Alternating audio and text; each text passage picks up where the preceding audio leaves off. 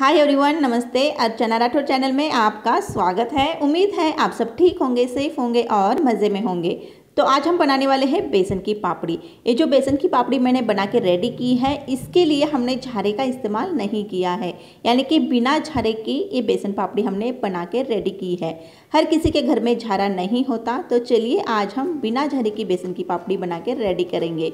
तो यहाँ पे मैंने छन्नी में एक कप बेसन का आटा लिया है। बेसन के आटे को पहले तो छान लेना है अच्छे से। तो यहाँ पे बेसन का आटा जो है हमने छान के रख दिया है। अब हम इसमें डालेंगे स्वाद के अनुसार नमक। तो इस बेसन की पापड़ी में बहुत ही बेसिक यानी कि बहुत ही कम चीज़ों से ये बेसन पापड़ी बनके रेडी होती है। तो नमक डाल दिया है। अब हम डालेंगे आधा चम्मच तेल। और थोड़ा थोड़ा पानी डालते हुए हम आटा लगा लेंगे। लेकिन आटा यहाँ पे हमें बहुत सख्त नहीं थोड़ा सा पतला आटा लगा के रेडी करना है। यानी कि बेसन की पापड़ी बनाने के लिए बेसन, नमक और थोड़ा सा तेल लगेगा। तो यहाँ पे जब हम गूंदना स्टार्ट करते हैं, तब हमें बहुत ही ये आटा जो है, वो चिपचिपा हो जाता है, लेकिन हमें इसी तरीके से गूंदना है। इसके अंदर गुटलियाँ बिल्कुल भी नहीं रहनी चाहिए। तो आटा हमने इस तरीके से लगा लिया है, पतला आटा, और इस तरीके का साँचा मिलता है मार्केट में।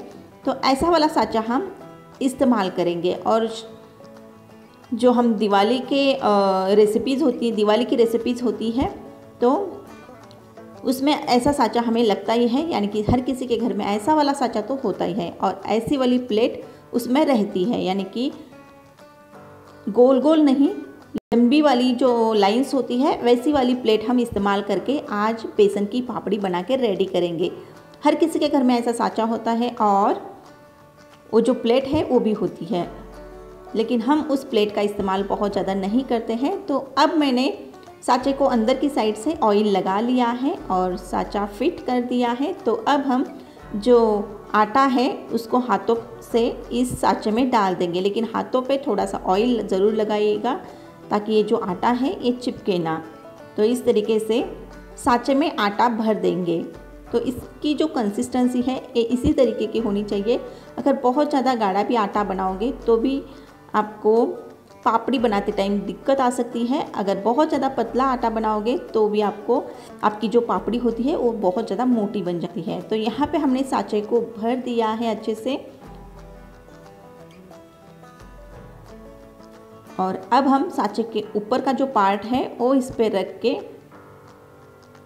ये साँचा और आटा पापड़ी बनने के लिए रेडी है। तो यहाँ पे आप देख सकते हो, मैंने कढ़ाई में लगभग 250 ग्राम ऑयल लिया था। ऑयल अच्छे से गर्म हो चुका है। अब हम इसमें इस तरीके से पापड़ी को छोड़ देंगे।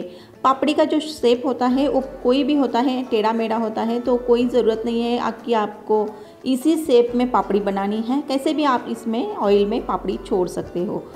और बाद में तो हमें इसको तोड़ ही देना है। तो यहाँ पे एक साइड से ये जो पापड़ी है, ये फ्राई हो चुकी है। दूसरी साइड से भी हम फ्राई करेंगे। बहुत ज़्यादा टाइम नहीं लगता फ्राई होने में। बहुत ही जल्दी ये पापड़ी फ्राई होकर रेडी होती है। तो यहाँ पे दोनों साइड से अच्छे से अच्छे से फ्राई करके लेंगे और उसके बाद इस पापड़ी को हम निकाल लेंगे टिश्यू पेपर पे। तो चलिए, आप यहाँ पे देख सकते हो इसका जो कलर है, बस इतना ही हमें इसको फ्राई करना है। बहुत ज़्यादा अगर आप इसको फ्राई करोगे तो ये जो पापड़ी है, वो कड़वी बन जाती है। तो चलिए, अब हम इसको निकाल लेते हैं। तो यहाँ पे आप कलर देख सकते हो, बस इतना ही हमें कलर लाना है। तो चलिए टिश्यू पेपर पे हम इसको निकाल लेते हैं।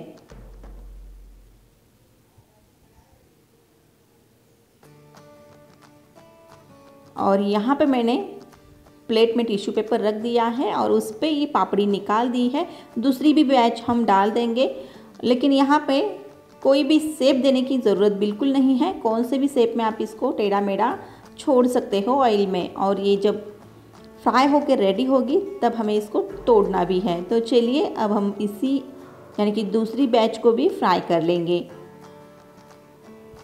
जो लोग दिवाली में मीठा नहीं खा सकते तो उनके लिए ये रेसिपी परफेक्ट है। तो आप इस दिवाली पे इस रेसिपी को ज़रूर ट्राई कीजिएगा। अगर आपके घर में झारा नहीं है तो भी कोई बात नहीं। वो साँचा तो हर किसी के घर में होता है, सेव वाला साँचा। तो उससे आप इस तरीके से पापड़ी बना सकते हो। तो यहाँ पे दूसरी बैच भी हमने फ्राई करके रख दी है।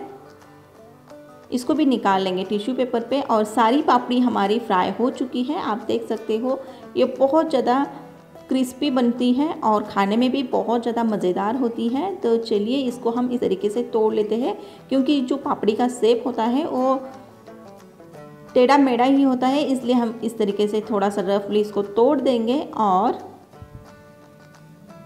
ये पापड़ी हमारी रेडी है। लेकिन ठंडा होने के बाद ही तोड़ तोड़ देना है। उसके बाद मैंने यहाँ पे थोड़ी सी हरी मिर्ची फ्राई कर ली है और ऊपर से नमक डालेंगे।